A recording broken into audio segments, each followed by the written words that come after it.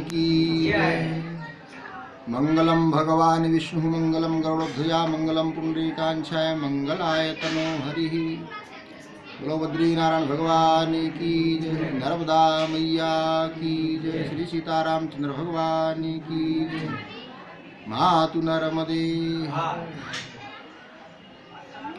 पूर्ण सलीला नर्मदा के पावन तट जलहरी घाट में स्थित ठाकुर श्री बद्री नारायण भगवान के सानिध्य में बद्री नारायण भगवान का 120वां बद्री नारायण भगवान का उनसठवां पाठोत्सव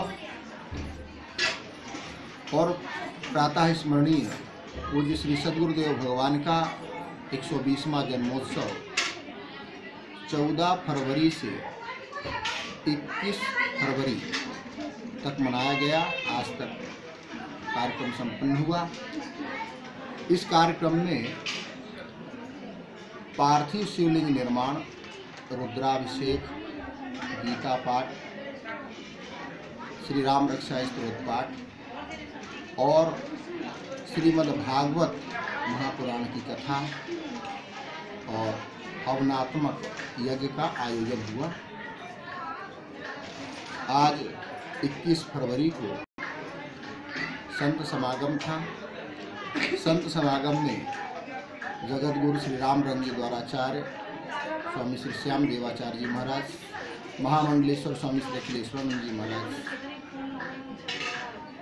जली बाबा जी महाराज सरमन के श्री महंत जी नरसिंह दास जी महेंद्र दास जी, महंत श्री गोविंद दास जी महाराज नरसिंह मंदिर खतौला के राम बहादुर जी महाराज, ध्रुव नारायण दास जी महाराज, एवं अनन्यान अन्य संत महंत महामंडलेश्वर सब उपस्थित हुए।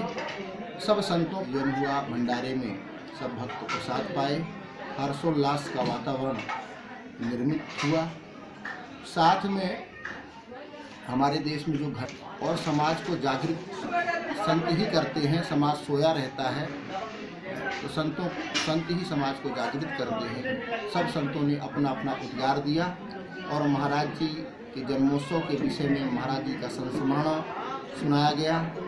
नर्मदा का ये पावन तट अति पुण्यशील है पूर्णमयी है। नर्मदा तीरे तपह कुरियात यहाँ जो तपस्या करते हैं, तप करते हैं, सेवा करते हैं, माँ नर्मदा के दर्शन करते हैं तो प्रतिदिन गंगा स्नान का फल प्राप्त होता है, क्योंकि नर्मदा की महिमा सभी शास्त्रों में वर्णित है। और नर्मदा के दर्शन नर्मदा के किनारे रह करके साधना करने से अभीष्ट फल की प्राप्ति होती है, दिव्य निर्मलता आती है और कलुषता दूर हो जाती है। सबका कल्याण होता है और जीवन का जो लक्ष्य है, भगवत प्राप्ति, वो प्राप्ति होती है। मनुष्य जीवन का लक्ष्य यही है कि इस जीवन में ही लक्ष्य की प्राप्ति हो जाए भगवान की कृपा हो जाए और जीव को भगवान की कृपा हो जाती है तो जीव का कल्याण हो जाता है। जीव अमृतस्य पुत्र, हम सब भगवान के पुत्र हैं। इसीलिए कहा गया है, जनता जनार्दनो हरि। सिया राम मैं सब जग जानी, करहूँ प्रणाम ज़ोर जुग पानी। और श्री बद्री नारायण भगवान की जय। नर्मदा मैया की जय। जय भगवान की जय। जय जय श्री सीताराम। ये बद्री शांति आश्रम। इसको कांच मंदिर भी बोलते हैं। और यहाँ एक असीम शांति का अनुभव होता है, इसलिए इस स्थान का नाम शांति आश्रम ठीक ठीक।